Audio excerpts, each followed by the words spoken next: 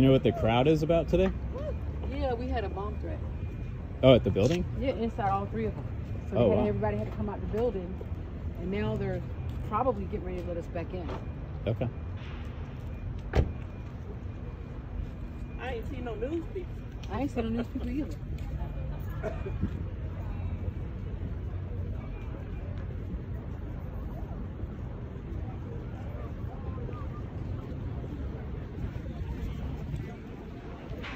Anybody has ears to hear, the Lord Jesus Christ said, Do not fear man that can only harm the body, fear the one that can harm the body, and then cast the soul into hell.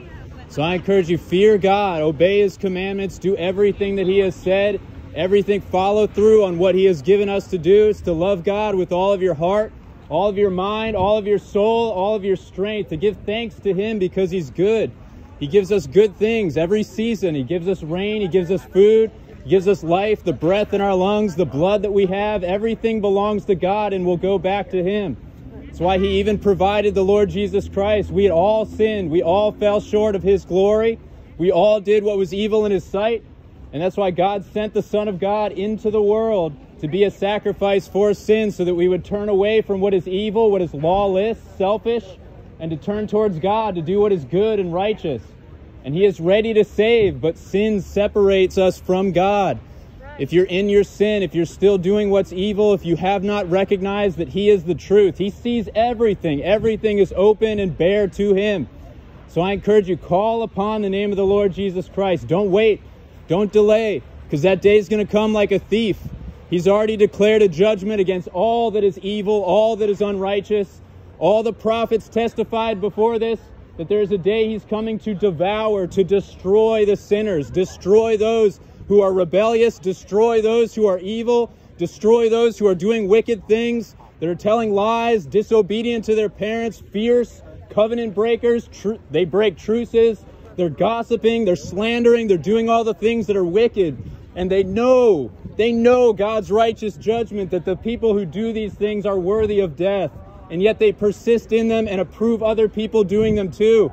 Which is why God's love is discipline. God's love does not want to leave you in your sin. He does not want to leave you doing evil things. He wants to bring you and prepare you into the kingdom of God where there's everlasting life, where everybody will be in peace, true peace, where there's no evil. But that's a process that we have to go through. That's what sanctification is, is to be washed, to be clean. That's why look at what Jesus did. He gave his blood. He said, deny yourself, pick up your cross and follow me daily. Daily. You have to deny yourself daily. If you follow your heart, you will die. I guarantee it. The heart is deceitfully wicked. You are going to choose yourself over what is righteous and good every time, which is why God says, deny yourself. Seek the kingdom of God. It is near. It is near. Those who have repented, turned away from sin, they will enter the gates with singing and glory. Amen.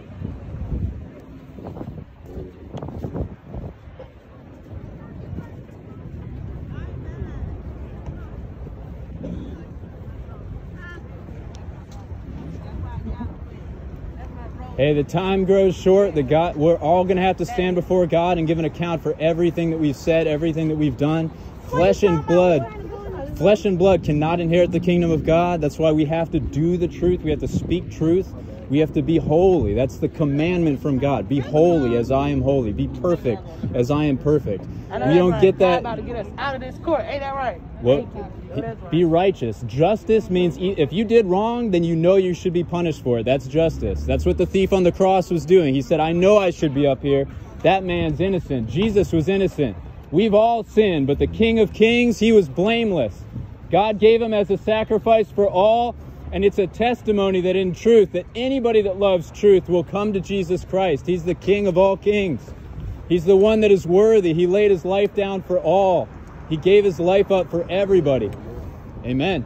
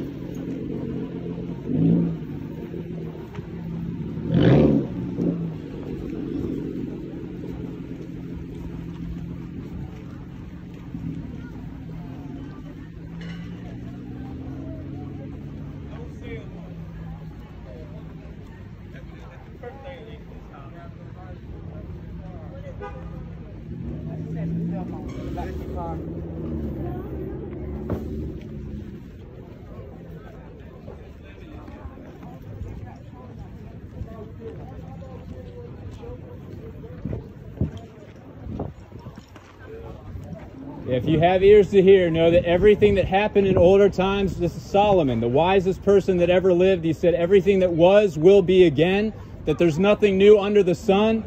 That the, again, people will constantly rebel, constantly go away from what is lawful, what is good, what is just, what is noble, which is why God calls people to repent. He'll send people to go, and they'll be the shamed, the despised, people that don't think anything of you. That's why He sends them into the world to call people to repentance, which just means change your mind. Acknowledge that you've done evil. Acknowledge the things that you are doing are not truthful. They're not right. If you're loving fantasy, if you're loving lies, if you're loving being bitter towards other people, then loving your neighbor as yourself, the gospel is mercy triumphs over judgment. If God were to give us justice, he would rightfully be able to execute all. But he sent the Lord Jesus Christ into the world to show to reconcile us back to Him. If He gave His life for us, we should therefore live for Him. We should do His will. That's what the gospel is to obey God, to give Him the glory. Look at what He's done. He raised Jesus Christ from the dead. The rulers of that generation condemned Him to death. He had done nothing wrong, no evil was found in His mouth. They're beating Him. They're torturing him. They're mocking him, and he's still pouring out mercy. He said, Father, forgive them. They know not what they do. So I encourage you, obey God. Do what is right. Turn away from all evil. Turn away from the lies. The Spirit of God says, don't call controversy what the people are calling controversy. There is one controversy. You are either with God, gathering with Him in love, in righteousness, and in mercy to the truth, or you are scattering people and you are against God which is why the gospel also says, the Bible also says, friendship with the world is enmity with God. He's going to come, he will burn all of this away, and he will establish his kingdom, which is why he's looking for people that love him, love the truth, understand why he came to save us from our sins. So I encourage you, all you have to do is believe and then work out that salvation with fear and trembling. The fear of God is the beginning of all wisdom. That's why the people that hate you are going to speak words of love, and that's all they're going to leave it to. They're not going to tell you about the wrath of God. They're not going to tell you about fear. They're not going to tell you that you, if your eye causes you to sin, pluck it out. If your hand causes you to sin, chop it off. God's righteous judgment is going to fall on all who disobey the gospel, all who do not believe, all who do not do what is true and right and good. So I encourage you, that day is coming quick like a thief. It says they are going to be saying peace and safety, peace and safety, because they're going to reject the truth. They're going to push it out of the churches. They'll push it out of everything. They will reject what is noble, what is good, what is pure, what is holy, and they will believe lies. They will love it. And that's why they will build themselves strong in this, which is why if you are a sheep and you're hearing God's voice, today don't harden your hearts like they did in the rebellion. They turned against God, and he was not pleased with them in that generation. Even though he saved them out of Egypt, you still have to obey God. You cannot turn back. The scripture says a pig goes back and wallows in the mud, a dog goes back to the vomit. So I, I, say this not to condemn, but to encourage you. Don't go back. If you know something is evil, don't go back to it. Do what's good, do what's noble.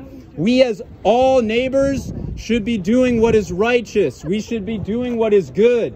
We have homeless people. We have people that get come in here that don't have any place to go, and everybody's relying on somebody else, just passing the buck to do it. Jesus said, if you want to be perfect, sell your possessions, give to the poor, then you'll have treasure in heaven. So I encourage you, look not at what you can gain in this life. It's all going to fade away. Look at the kingdom of God. Look at what Jesus did and look at how God judged him. He gave him a name above every other name. He had nothing, no bed to sleep on, nothing. He gave up his blood. He poured himself out unto death.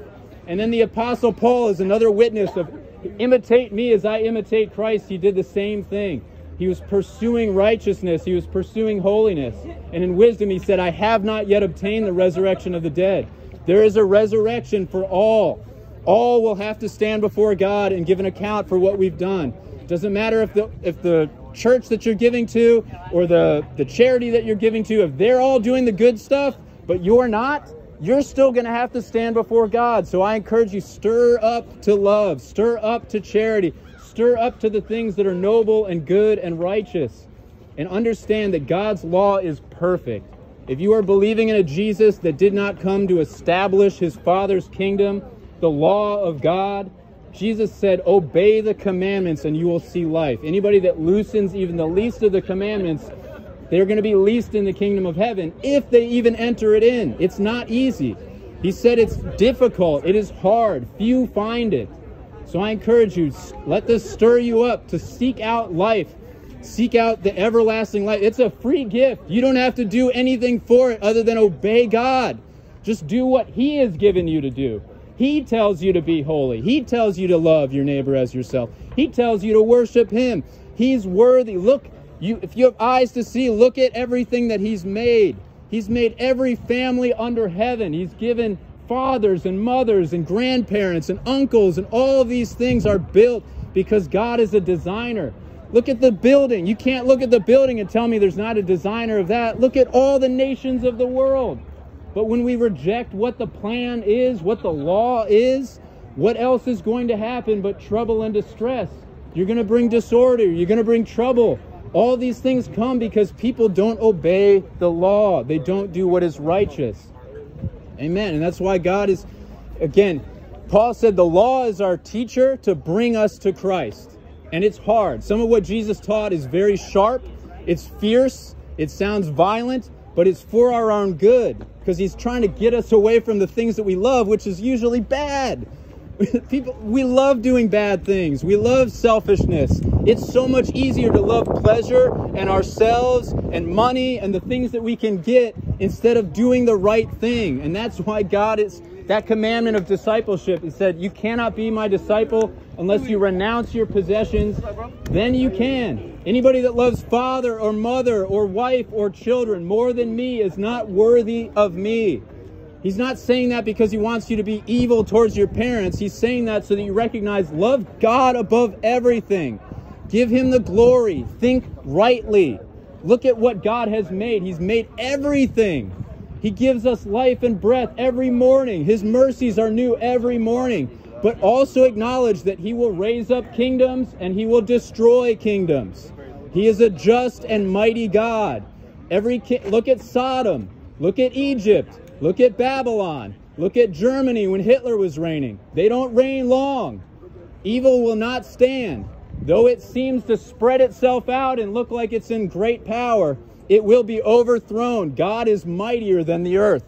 Everything in heaven is mightier than that which is on the earth. So I encourage you, fear God, obey his commandments. If you have not heard the book of Revelation recently, it is a blessing. It's a blessing to those who hear because it's designed to put the fear of God in you to show his judgments are going to come. He's going to pour out his judgments on all that is unrighteous and all that is un- that is wicked so that you turn away from those things. So I encourage you, please seek God while he may be found. Call upon his name and put your body into subjection.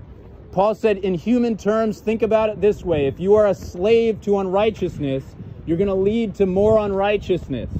But if you consider yourself a slave to righteousness, it's going to lead to holiness, peace, and true love. That's why the goal of the gospel is to have Christ formed in you, that same mind, that same hope, that same, hey, even if everybody is against me, everybody, they're condemning me to death unjustly on a cross, piercing me with a spear, giving me vinegar to drink when I ask for water. They don't show mercy, they don't show compassion. They're mocking, they're telling me to save myself if I'm truly the Son of God. But again, God raised him up. He raised him up and he sent out disciples to go preach to other people, to teach other people to observe the commandments of God. Love the Lord your God with all of your heart, all of your mind, all of your soul, and all of your strength, and love your neighbor as yourself. If you hear the truth, then I just encourage you, if, if you hear what I'm saying is true, be bold to say amen. Recognize that it's the truth. That's why the God is the God of all. He's not just the God of the Jews, He's the God of all. He's going to test all hearts. All minds are laid bare before him. There's not a word on the mouth that's not already before the throne of God. Every word of the tongue, every answer of the tongue. That's why Jesus said, You're going to be condemned by your words or justified by your words. If you acknowledge your guilt, like the person that the tax collector he came to the temple of God, he, he wasn't even thinking he was worthy to go in. He just looked at the ground. He said, I'm forgive me, I'm a sinner. But when you acknowledge those things, it's not to persist in sin, it's to acknowledge what is unrighteous and then follow the rest of what the scripture says. Put it to death. How do you put it to death? With the sword of the Spirit. Renew your mind with God's word. God's word is a hammer to build, God's word is a fire to purify. So when you hear what God is saying, what his commandments are, what his teaching is, it's designed to build up your life so that you and your children last generation to generation. He keeps his covenant. He is not a liar. He keeps his word. When he says he's going to do something, he does it. He is the helper, but he's not a servant of sin. He gave his he gave his son to cleanse us of our iniquities but when people go back to it, the Bible also says it's a fearful thing to fall into the hands of God. If you can acknowledge that God gave his son, that he looked down at the earth, he did not want it, he doesn't take the pleasure in the death of anyone. He didn't want to kill anyone. So he sent his son. Maybe they'll go listen to my son. Maybe they'll obey him. And then Jesus got condemned by that generation. They killed him. And God raised him back up to life gave them the Holy Spirit so they could go preach to make other disciples, to bring them into the kingdom of God so that people are one, under one God, one holy one of Israel, the one who sent Moses and gave the law, the one that led the children of Israel out of Egypt, laying plagues onto Egypt, and that brought them into the wilderness to be tested, and then tested Joseph. Joseph also got condemned by his brothers. They tried to kill him. And then God, it says the word of God tested Joseph to see where his heart was. Joseph was trying to be blameless. And that's an example for us to keep ourselves from the things that are tempting us to sin. The devil is going to be the first one right in front of the throne to accuse you before God. He is the accuser of the brethren. The moment some your own lust tempts you, and it says God doesn't tempt anyone. We're lured away when we're tempted by our own lust whether it's pornography, greed, lusting after other people, lusting after power, it's lust. But the glory of God's gospel through Jesus Christ is it frees us from that lust. We're no longer enslaved to our passions. We're no longer enslaved to the things of this life. We've got our mind fixed on the kingdom of God. We recognize He's called us not to just remain in our sin, but to be holy, to be blameless, to be have the right to be children of God. God's not going to let his children just be a bunch of evil doers. He's going to discipline them. He's going to call them to repentance. He's going to teach them. He's going to try to guide them. And if he has to use the rod because people are being stubborn, he'll do so. How do I know this? Because you can look in the scripture and see he did the same thing with Israel. He never changes. He's the same yesterday, today, and forever. What happened to Jerusalem after they killed the Lord Jesus Christ? Did it stay in power? Were they risen up in glory? No. He judged them. They brought a curse upon themselves. They said, Let his blood be on us and our children. Therefore, this nation needs to recognize that too. Every nation that does not serve the Holy One of Israel will be uprooted.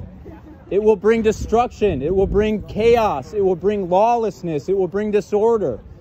But it again, it, it doesn't just start in the White House, it starts every individual. If every single person turns away from their own sin and does what is right, shows charity, does what is good, noble, and true, you're caring for your neighbors. If you remember the story of Cain and Abel, God asked, after Cain killed Abel, God asked him, Where is your brother? And Cain's answer was, Am I my brother's keeper?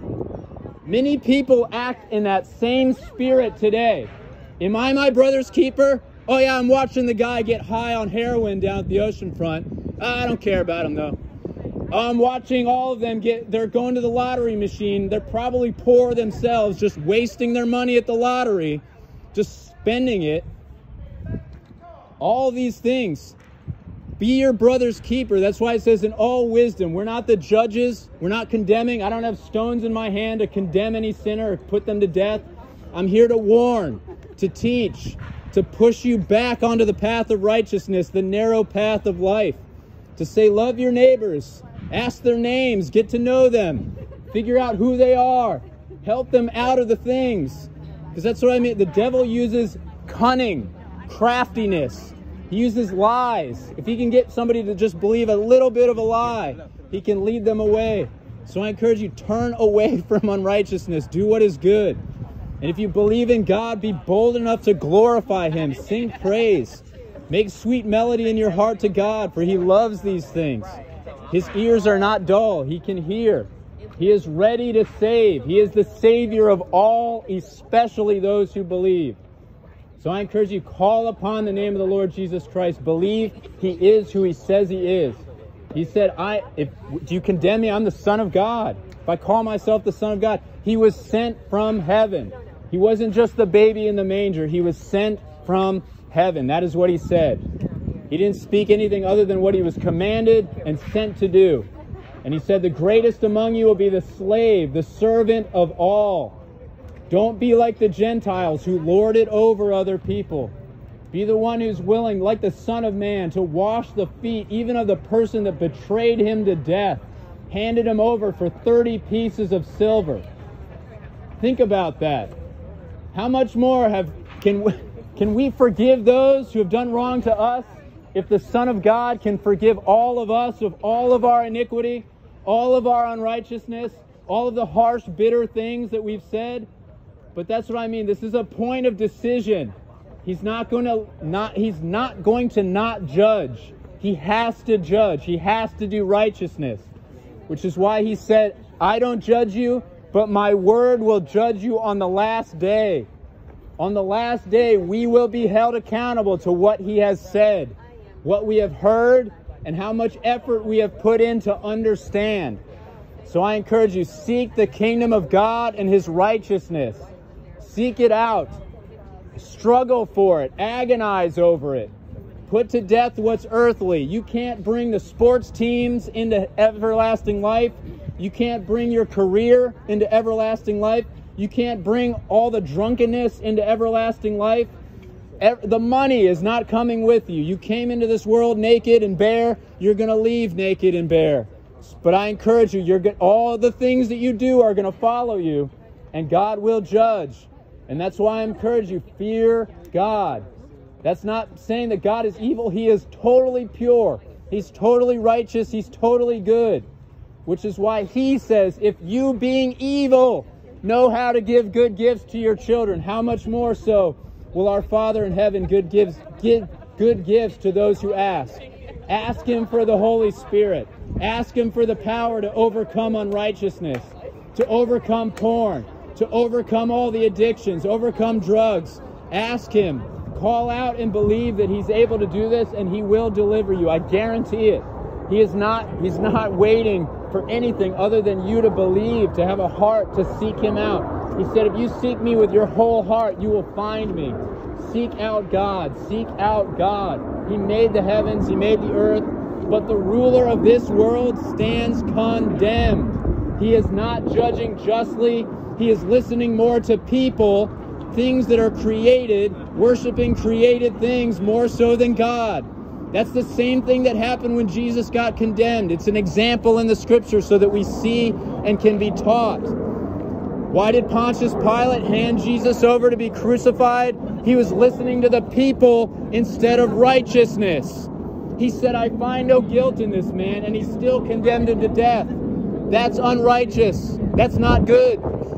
That's not a fair judgment. Is that how you want to be judged? Because that's how the devil is going to judge this world.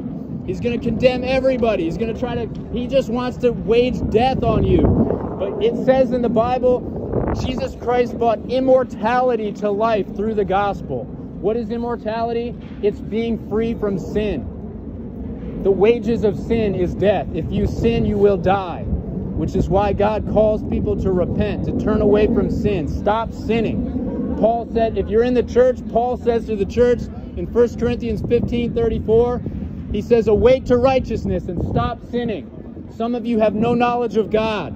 I say this to your shame. So I encourage you, draw near to God, cleanse your hands, wash your hands from the bitterness, the cursing, the slander, all the gossip, all the, the pornography, all the lusts, all the vanity, all the things that are going to fade away, and seek the things that are up above nobility, righteousness, courage, boldness, the things that are good. And, and here's the hardest one obedience. Put yourself into subjection to God. Humble yourself under God, under His mighty hand. He will exalt you in due time. But He's going to resist the proud. And I just, I'll end it with this. He told a parable about a rich man and a poor man that was covered in sores, just waiting at the gate, just begging for bread, begging for crumbs to fall off the table. And the rich man ate lavishly every day. And I'm sure he was probably going to synagogue all the time. He probably he had probably had a big family, had everything seemingly in order, everything looked great from the outside. But then he's walking past this poor man Lazarus every day and not showing compassion, not being his brother's keeper, not being somebody that shows love. So Jesus said when they died, Lazarus got brought to Abraham's bosom. He got brought to comfort. He received bad things in his life, and then he was comforted in ever in the everlasting life. But the rich man, he went to torment. And in torment, he looked up to Lazarus and he's trying to say, Can you send him back to warn my brothers, warn my family, so they don't end up here, so they don't end up in the place where there's no rest, where the fire's not quenched and the worm does not die? And Abraham said, if they don't listen to somebody raised back from the dead, they're not going to listen. if they don't listen to Moses and the prophets, they're not going to listen to somebody raised from the dead. You know what that says? If your heart is stubborn, if you've already made up your mind that God can't possibly be trying to talk to me, He's not trying to warn me, He's not trying to guide me away from the evil things that I know I shouldn't be doing. He is. But listen to Moses. The law is good, the law is holy, the law is spiritual. You can't have righteousness through the law. It's designed to condemn you. It's designed to bring you to that point where you can obey Jesus, to crucify yourself with him and obey his teaching, obey his righteousness. So anybody has ears to hear, may God bless you, give you grace, fill you with praise, fill you with glory, to hope for the everlasting kingdom that will come. Remember, there's a cloud of witnesses. If you have been reading the scripture, if you heard anything, remember Elijah. Remember, there were so many more false prophets than there were true prophets. And the people who love sin hate true prophets. Ahab hated Micaiah. Ahab hated Elijah. It's like, you enemy of Israel. No, it's not. Elijah was not an enemy of Israel. If the people are all in rebellion, yeah, then the voice of conviction sounds like hate. But that's why God's calling you back. Turn back. He wants to rain righteousness down upon you. He wants to fill you up so that your generations, life, life, life. He came not to condemn, but to give you life. What is life? It's following God's law. Everything that God is, is spirit. It's truth. It's good. It's noble. That's why we have to renew our minds to what is good, because the voices in this world, they will fill you with so much anxiety, so much fear, so much stress, all these things that are evil.